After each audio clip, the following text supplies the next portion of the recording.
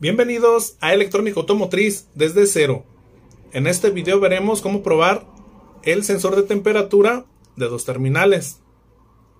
Aquí podemos apreciar las dos terminales en el interior del sensor. Para probar este sensor necesitaremos un multímetro. El multímetro debe de ser con un multímetro económico es suficiente vamos a necesitar medir la resistencia en la escala de 20 kilo ohms o 20 mil ohms. Vamos a poner esta flechita aquí en esa escala de 20k.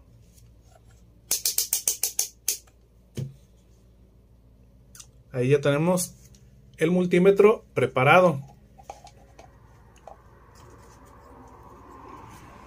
El sensor de temperatura estando a temperatura ambiente, debe de darnos una medida de 2 a 3 kilo ohms o lo que es lo mismo de 2000 a 3000 ohms.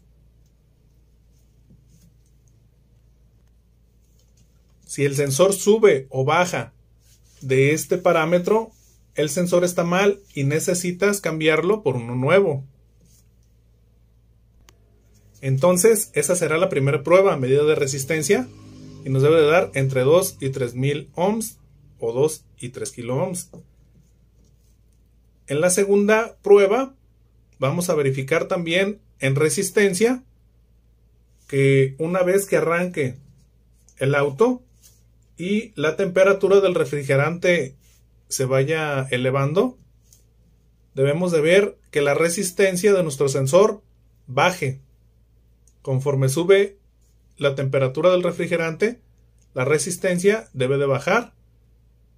Una vez que lo apagues, conforme se enfríe el refrigerante, la resistencia debe de subir. Entonces,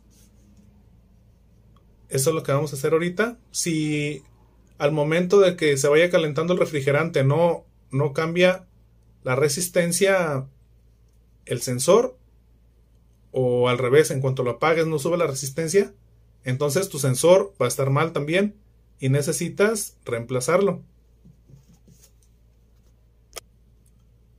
Bueno, entonces vamos a realizar las pruebas que les digo para que sea un poco más fácil para, para mí hacer las pruebas. Voy a conectarle estas terminales al, al sensor de temperatura y ya nada más medimos la resistencia.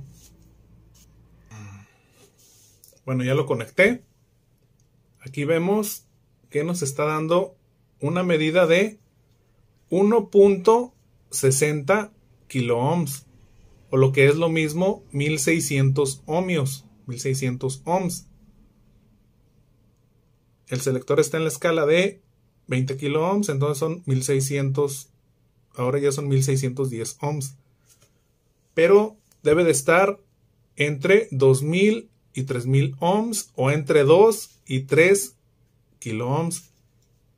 En este caso, nuestro sensor de temperatura no serviría y necesitamos reemplazarlo.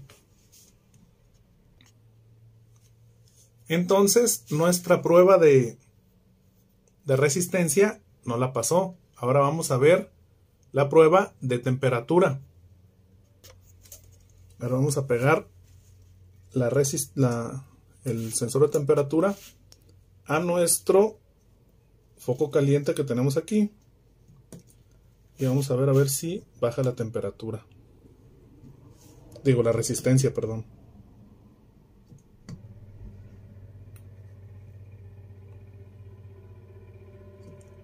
¿Se fijan? Tampoco está bajando.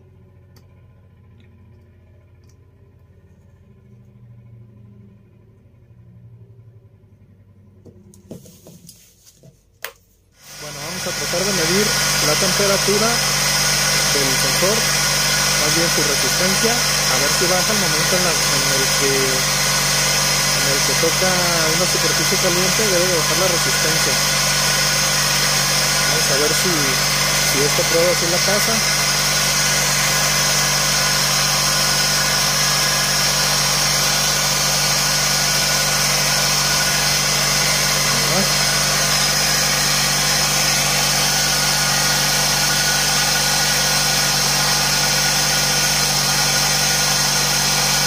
Fijan, no baja la temperatura. Digo, no baja la resistencia, perdón. La resistencia sigue estando en 1.63 y estoy tocando una superficie muy caliente. Entonces, esta es la, prueba definitiva para ahí se, apenas está empezando a bajar algo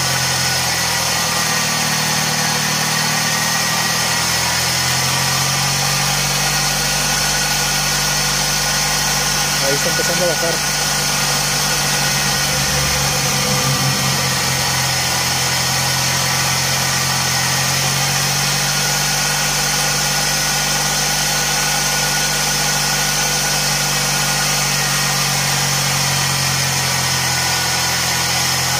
Es el momento de retirar el sensor, debe empezar a, subir la temperatura otra vez, sube la resistencia, perdón. Ahí se fijan, está subiendo la resistencia poco a poco.